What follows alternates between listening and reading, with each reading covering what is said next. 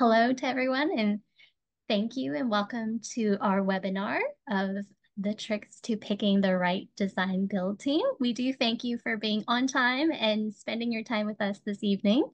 Uh, we do want to make a few notes. For instance, we are recording this webinar, so we will be providing uh, a copy of this uh, sometime tomorrow, or if not, the latest by Monday, but ideally by tomorrow. Um, so we are going to mute everyone in attendance as Megan will be presenting, just to be respectful and considerate of that. And we will have a Q&A at the end of our session. So if we have any questions along the way, feel free to send it to the chat and I will help moderate that with Megan to address your questions at the end. And looks like Megan's ready to go. That's the theory, right? So today you've got myself and you've got Michelle. So I am one of the uh, project uh, coordinators uh, at TQ Construction. Uh, my official title is Project Relations, and that's because I do a number of things at TQ. I've been with TQ for almost seven years now, and I've kind of worked my way through a good part of, especially kind of like the office and administrative side of the company.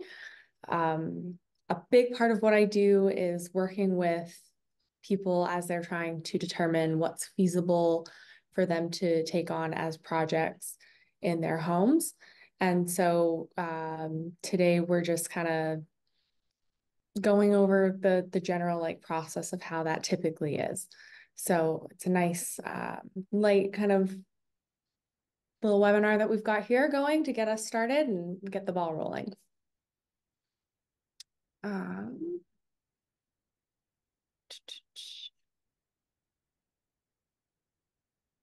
okay, so basically the what we're going over today is kind of from the point of when you're like, okay, I have a project that I want to take on in my home, um, or possibly a new new home, uh, all the way to like selecting who you're going to work with and kind of pushing off from there. So that seemed like kind of a reasonable uh, period to, to tackle today. And uh, we will take on more of the process in following webinars.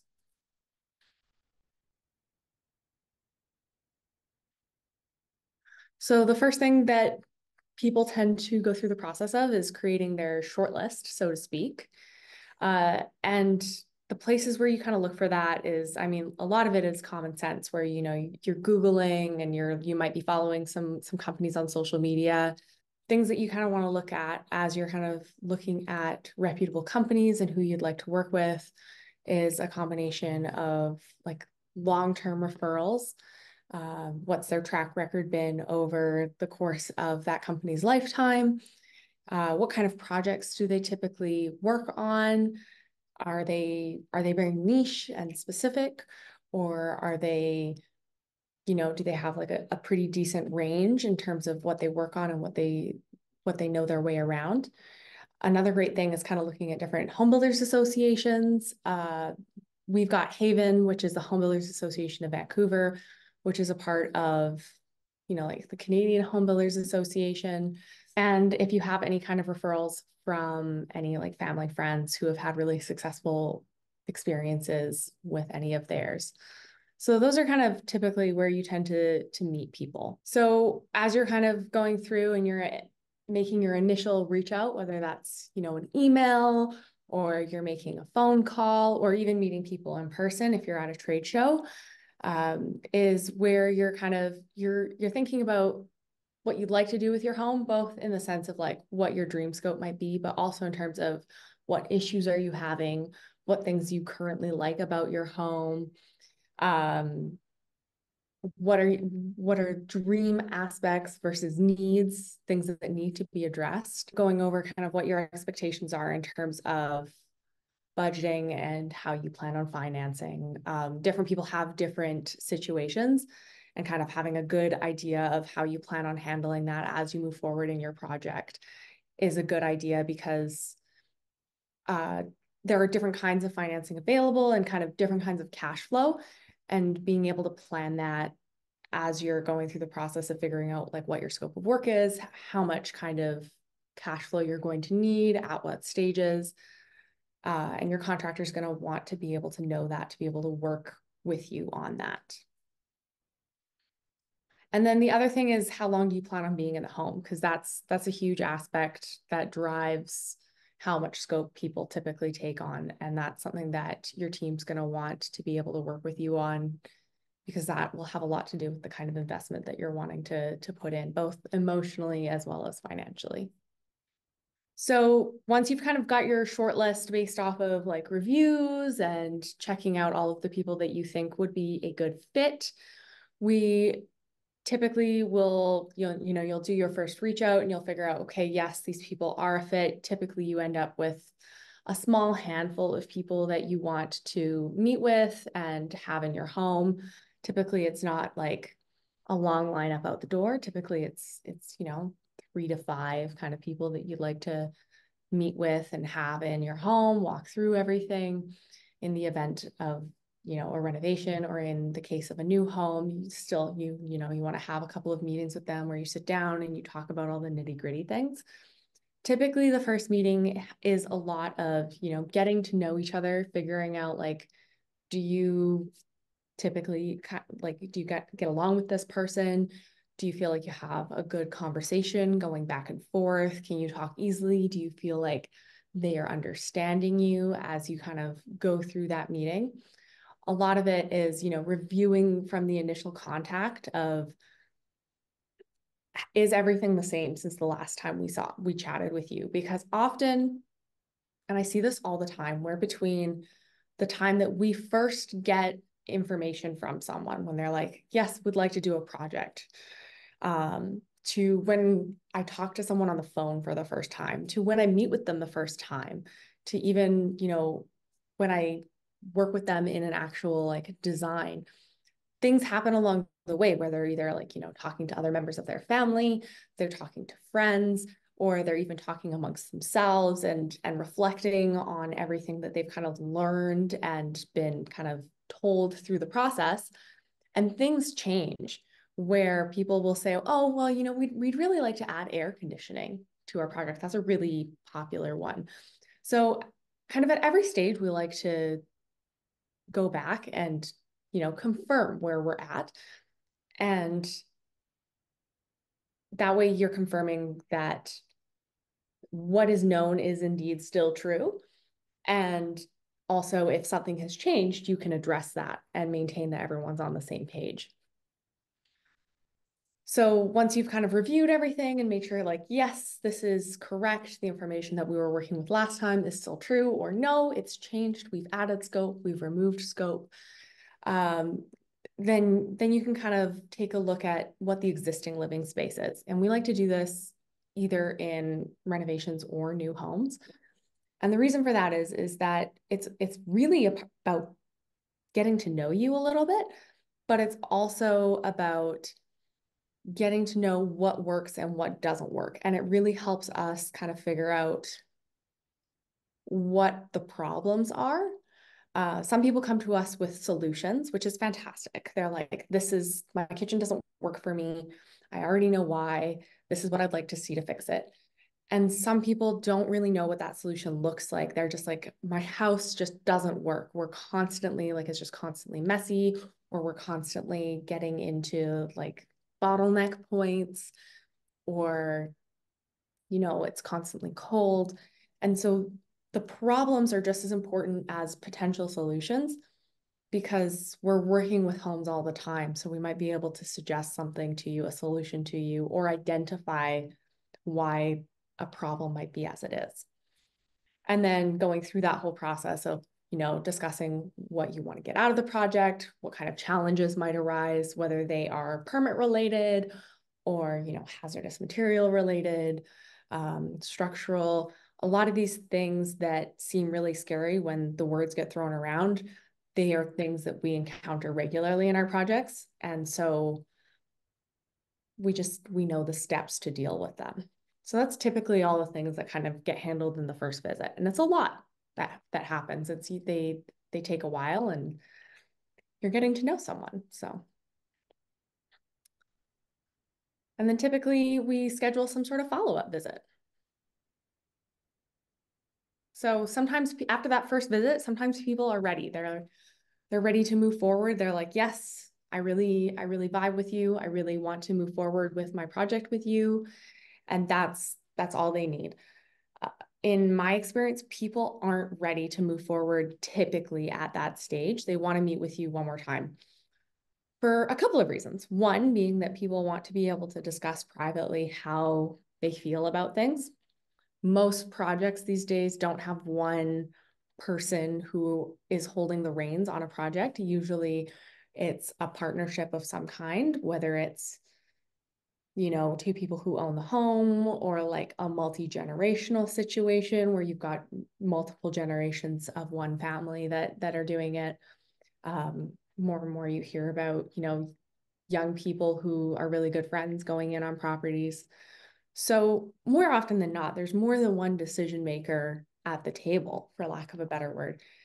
And it's really important for everyone to get a chance to kind of step back and discuss how they feel about everything because it's a big commitment. And then the other half of it is that any good contractor won't be able to turn around and tell you exactly how much something is going to cost when they visit you the first time. They'll be able to kind of give you some ballpark figures as you're walking through, and like a bit of a gut feeling. But anyone who's willing to give you like a number hard and fast without really like sitting down and looking at everything and thinking about it and even checking in with their teammates about things that they might not be sure about. I say it all the time where like if there's something that I haven't dealt with in a while, I'll tell people like I need to check with my estimator. I haven't dealt with that piece of scope for a while. I need to make sure that the information I'm giving you is correct. And so I want to get a chance to, you know, step away, organize all of the scope of work, make sure I'm not missing anything, and then come back and present all of that to you. And then the other aspect of that is, is that frankly, no one knows you well enough at that stage to give you like just one number. So usually we're coming back with a range of, you know, a reasonable start and a reasonable higher end of where we typically see projects fall based on you know, getting to know you for a couple of hours and the rest of the information that we've collected and looking at your home and what your tastes are and where we think you'll end up based on our best guess.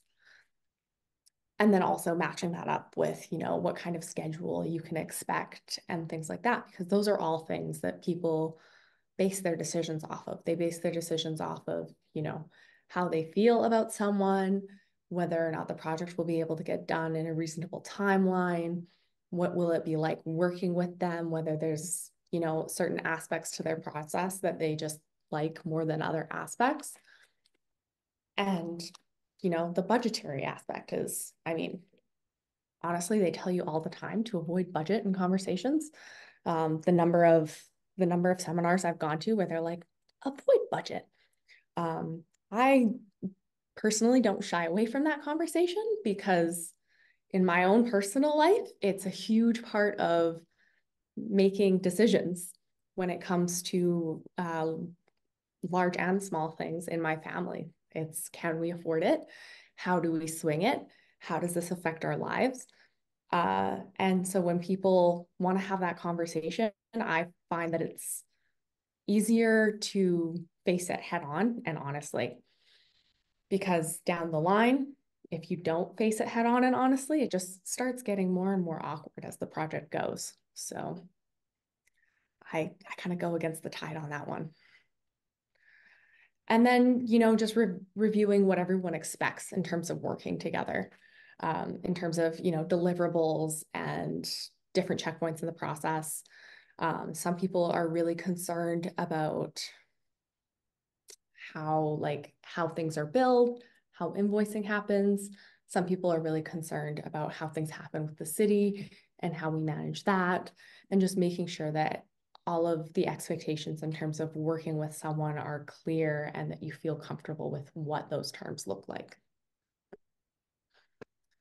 And then once you've had that follow-up visit from, you know, your handful of contractors, you should in theory feel pretty comfortable with picking someone. So, I mean, at that point, you should have answered kind of the questions like, can they do the work? Do they meet your project's needs? And not, and, and that is separate from like, can they do the work? Because meeting your needs are meeting like solving your problems. Can they solve your problems? Do you get along with them? Because you're going to be working with this person for, you know, anywhere between a year to two years, depending on what your project is. Um, going through the design process takes, you know, it doesn't happen overnight, it takes a little while. And then, depending on what municipality you live in, you have to, for almost most projects now, you have to go through a permit of some kind with the city. And that takes time as well in doing your, your material selections. And then you have to work with the company through construction if if that's the company you choose to move forward with through construction. And then also into warranty, like, you know, you want to make sure that if anything happens after your project is complete, that you feel comfortable going to this person and saying, hey, I need help with fixing a window or something else and getting them to come back and fix that. So making sure that you get along with them really well and making sure that you have a good communication established and that you feel like you're going to be able to solve problems with them. And that's that's kind of the thing that I really come back to at the end of every follow-up meeting um, and at the end of every first meeting is that I really want to make sure that at the end of the day, each and every person I meet, whoever they choose to work with, is someone that they feel that they will be able to solve problems with. Because I have never seen a project from beginning to end go absolutely like perfectly flawlessly without a single hitch. And that doesn't mean that they didn't go well. It just means that something came up somewhere along the line because that's life. And life is chaotic and has a tendency to fall into chaos. Um, so you need to be able to work with someone who can help you through that and work with you through that. And that's kind of the, the big key thing um, of whoever you decide to work with. And if you pick that person, everything will go well. Um, and then at that point, you want to make sure that you're comfortable with whatever their their agreement structure is. And um, once you're at that point, it's kind of off to the races. You move into the agreement stage. So then at the end of all this, we can review kind of snapshot what we've looked at today. So as you go through, you know, you you make your short list of people, you do your initial connection with them and make sure that they are a fit for your project. They come, they do a site visit to kind of figure out what's what and who's who and everything that's on site. They do an assessment of the project with you and kind of walk you through everything from their perspective of like a snapshot of what they see through the project and what the, what you can expect based on what we've discussed.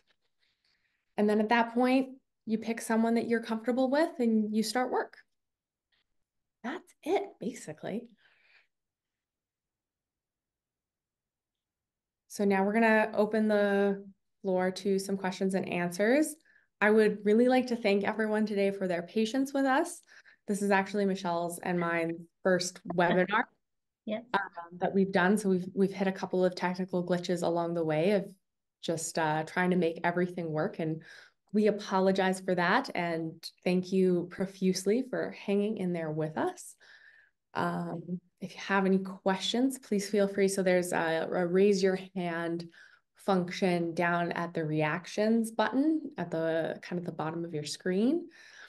Um, and then there's also a chat if you'd like to type any questions you might have. Um, does anybody have any questions or comments that they would like to share? Amanda would like to speak. Hello. Hello. Hi there. Um, I had a question about, um, you know, you mentioned about things change and um, you talk to different people and they um, uh, basically, um, you know, talk to somebody and they suggest this and somebody else they suggest that. At what point do you guys kind of say, okay, that's enough kind of thing? Or like how much change is there allowed to be once you've sort of engaged with somebody? Or or is it before you've even engaged? What what point do you sort of say okay we we need to sort of move forward with this plan uh yeah i mean there isn't really like optimally we like to have everything in terms of like what the plan is and the scope of work is. We like to have a pretty good idea of what that really looks like before we submit for a permit. Um, but even after that point there is some allowance for change. We really try to have it all nailed down before we start construction. We don't want to squash the idea of being able to change your plan or change your change your decisions because different things that you kind of encounter in your life, or maybe there's a big life event that really changes what your family can take on.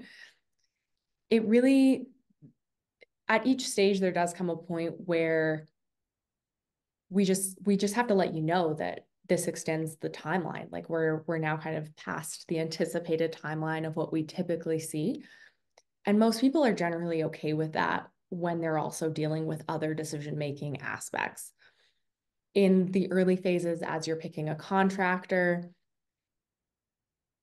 there isn't really a time where you know a contractor should be like you know what? I don't want to talk to you anymore because you know you want more information and you haven't made up your mind about what your scope of work is going to be.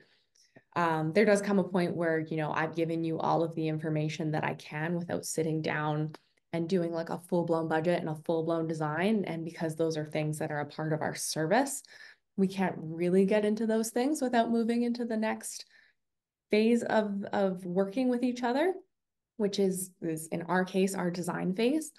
Um but it's really about comfort and making sure that people are comfortable. If if people are asking more questions it's because they're not comfortable with something and i don't like moving forward into another phase until people are fully comfortable with what they're taking on does that answer your question? Yeah, so it's like conversations. You want to pick somebody who you're able to have continuing conversations with and and maybe be a bit flexible here and there. But as the customer, you have to sort of understand that it can't obviously go on forever, but um, you guys are open to conversations about adjusting things and that kind of thing. So having someone picking picking someone who's going to give you more information than less is obviously good. 100% and someone who's you know open and transparent and willing to discuss options and why something may be a good idea or a bad idea great thank you uh, Nashila, I don't know if I pronounced that correctly. Hi there. Hi. Um, yeah, I am interested in doing a kitchen uh, renovation. Yeah. A 35 year old kitchen. Okay. And so, um, to what level of detail should I be discussing everything with you before I have decided on which contractor to go with? Uh, and and do you when you give you give your pricing, do you have it like per square foot? As do you have like a number saying uh, as to the, the type of kitchen? Is it really totally glam or like like functional kitchen or a very basic one? And then do you have your square footage price per square foot? Yeah. So I mean, prices per square foot is um, a fantastic tool, which is also the bane of our existence. Um, uh, price per square foot only really works when you're dealing with, I will get back to your kitchen question in, a, in, in half a second, but price per square foot is something that only really works at best when you're dealing with a whole home. Mm -hmm. um, and when you know what's included in that price per square foot. Because different people include different portions of service. Um, kitchens are a great example because some contractors will leave out the cost of their appliances in their cost per square foot. Mm. Um, or the cost. So, so no matter what kind of costing you're looking at, you want to make sure that you know what's being included. Um, now to kind of go back to your question about how much detail, which is a great question. Um, really you're wanting to get into kind of you know, approximate size of the space, but also, you know, what kind of expectations you're wanting out of your finished product. So you don't really need to know exactly which appliances and even exactly how many square feet. If you're like, it's approximately ish 10 by 10, kinda ish, or, you know, I live in a Vancouver special and it's an original kitchen, like we see enough of them that we're like, ah, yes, I know exactly what that looks like. Um, and just being able to kind of go over, you know, okay, it's really aged and, you know, I'd really like to bring it up to current standard. And then, you know, someone should ask you like, okay, well, are you are you wanting to have like a lot of cabinetry? Like you're wanting to replace all your cabinets, your countertops, your sinks, your appliances. You're wanting to do, are you, are you wanting to do your flooring and all of those things? Like I always really want to make sure that I'm on the same page with what I understand the scope to be as well as someone else. Um, because sometimes people are like, oh, no, no, no, no, I just want to do my cabinets on my countertop. And that's a completely different conversation than tearing your kitchen down to studs and building it back out again, which is typically what we do. We typically take something down to studs and we build it back out again. So making sure that there's a clear concept of, of what your full total scope of work is. And then, you know, when you come and you do your visit and, and you're kind of looking at the space, that that's another big thing because then we can kind of take a look and, you know, take a look at all the things that we know we need to be aware of, like, oh, like electrical panels in older homes, a lot of them are really close to being full. So we really want to make sure that we take a look at those to make sure that whether that's something that needs to be accounted for in the project, um, kind of coming in and seeing if you have any particular needs. Someone who's like a baker and does a lot of baking might have very different needs out of their kitchen than someone who you know just comes home and cooks dinner every night or even someone who prefers to cook um, or someone who makes wine.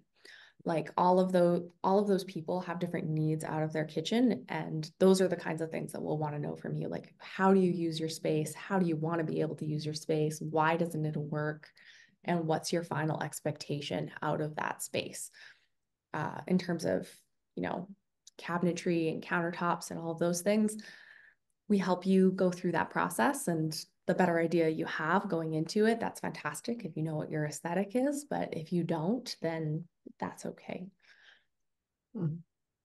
Did that answer your question? Yes, I think so. But I still want to know that before we say yes to you or sort of hire you, what uh, do we have any figures from you at all? Or is it totally in the air? Or how does it?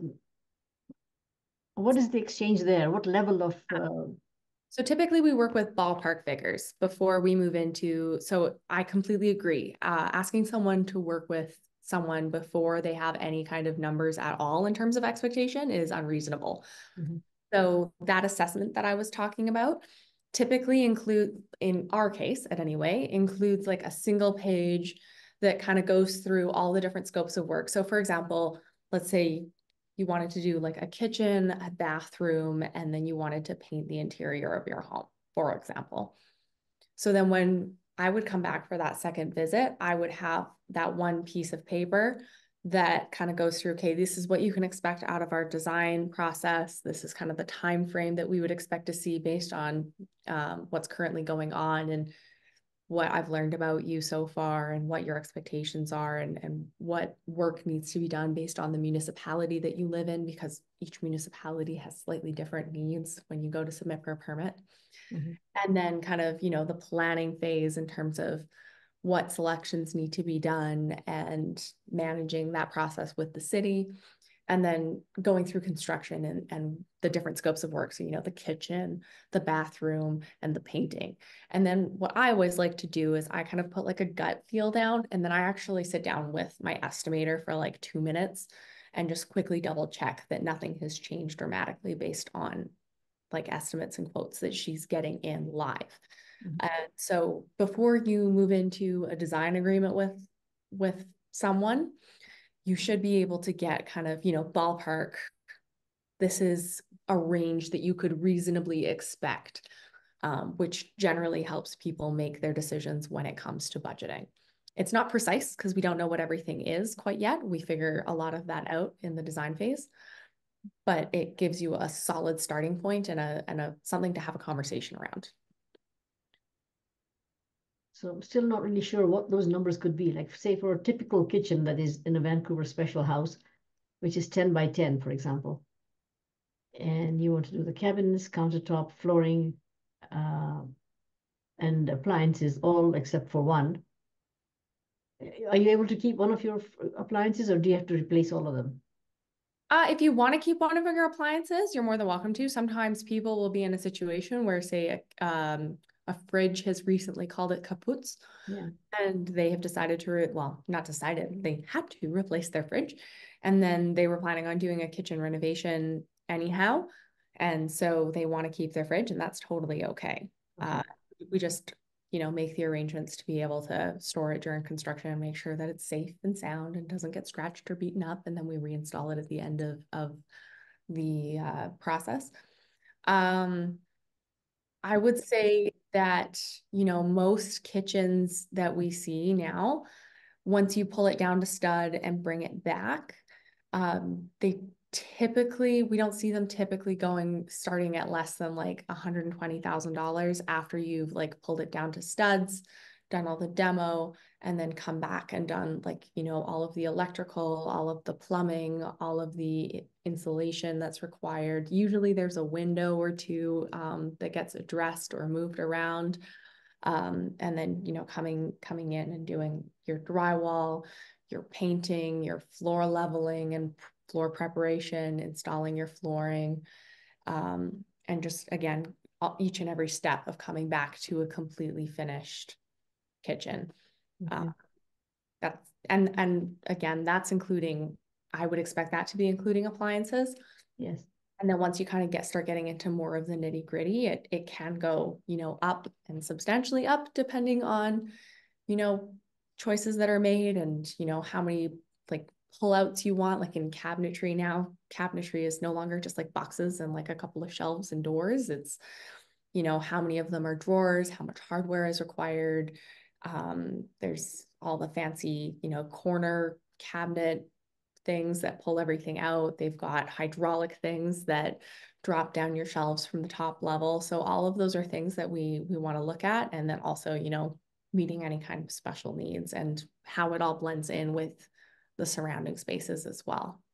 So you're saying the basic is hundred and twenty thousand and then all these other special features like drop down shelves or any any other fancy things that you want would be extra? Typically, typically we see it falling falling somewhere in that vicinity. We can see it go up depending on what's included. Yes. Okay. Okay. Because in in my case, uh, it would probably stay with the same layout because that seems to be the most um, functional thing to do. You get most function out of the kitchen if you do that. So, Yeah, with with almost any project, we where we see the majority of the value coming in is, you know, everything that has that has to be done in order to bring that space up to, because when you pull a space down and you put it back up, you can't build it the way it was built in whenever the house was built. It has to be built according to the current code. Um, so that means like cleaning up electrical and cleaning, there's there's a lot of things that people just don't think about when because again like you think about redoing a kitchen and you think oh i want to do my cabinets and my countertops and i want to replace my appliances and that's all people really think about and that might account for you know less than a third of the budget um, the rest of it goes into you know removing everything and then bringing everything back up so that you can put those final finishing touches in okay. But you're saying basically it wouldn't be less than 120,000, 120,000.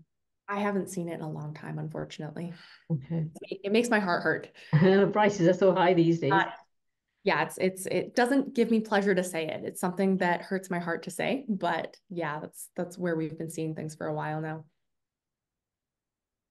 And if anybody doesn't have another question, can I ask another question? The the, the time frame of finishing a, a small job like that, like a kitchen redo would be A kitchen. yes. So if you're pulling it again, if you're pulling it down to studs and bringing it all the way back uh, again and ready for occupancy and ready, basically, I like to say move in ready because it's a term that most people can understand. You know, come in, slam your pots and pans down, and and go to town. Uh, typically, we see it somewhere in between, like you know, three and a half to four months uh, for construction, and that's just because in in um, residential spaces, you can't have everyone in there working around each other at the same time, like you can in large commercial spaces or even, you know, in towers and stuff like that. Mhm. They all ha- they they have to come in kind of almost one at a time, do their work, and then go. And then there's a few other things as well where, like, for example, when you're bringing in your cabinetry, they come in, they do a measure to make sure everything fits properly, and then they go and they make sure that you know everything is correct. They've already got their main boxes, but they might have to make a few adjustments or make a few pieces so that things fit properly. And that usually takes a week or two. And then um, also the same thing happens when you do countertops, for example, where once your cabinetry is in, you want to come in and do a measure of where, where your countertops are going to go. And then again, that takes, you know, a week or two for them to go back and and do that and, and make those final adjustments so that everything fits properly and just so. Okay, very good. Thank you. Yeah, no problem. Kathy? Yeah. Do you um, charge for the initial consultations before you even start the work? If you were to come out and see what? No, ma'am. Everything that we with everything that we talked about and covered today, uh, our company does that without a without a cost. We do it complimentary because we don't think that it's right to charge someone for something when they don't know whether they trust you or not yet or want to work with you yet. So until you get to a point where you're like, yes, I want to work with you, and you're moving into a design services agreement and you're going through everything and making sure that you are comfortable, um, we do not charge you for our time through that initial consultation phase. Thank you. And another question, if you just wanted to do your uh, countertops, your sink and your um, uh, doors, your cupboard doors, yeah. what, what, what type of price are you looking at in that regard? Uh, to be honest with you, Kathy, I'd want to sit down and look at it. Um, partially because one aspect of it is, are you like, for example, are you replacing your cabinet doors? Are you having them refinished? What kind of cabinet doors are you wanting? Because there's quite a different cost difference per you know, per door, per size, depending on the type of doors you want. Um, same thing goes for like your countertops and things like that. um, so that that would be something where I'd want to like sit down and, and look at it. Um, I would also say that a company like ours isn't really the best fit for something like that. We typically work in, like I was saying, at a minimum, like a full room project where we're taking everything down to stud and bringing it back. We don't bring the best ugh, pardon me, not bring the best value in projects where we're where we're replacing like one or two items in a room in in like the literal sense. But we'd be happy to refer you to someone, um, either refer you to someone from like HAVAN, the Home Builders Association of Vancouver, or someone that like a trade that we work with on the regular and give you a contact that you can work with on that. Um, yeah, sorry, I don't have a better answer. Okay, thank you. All right. So I hope everyone has a lovely evening and I hope to see you guys again next month.